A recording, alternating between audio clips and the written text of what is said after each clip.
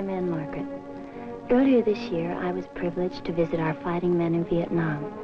And it was an experience that I will never, ever forget. I'm just very proud to be in the same generation. Everywhere I went, I found their morale high and their resolve firm.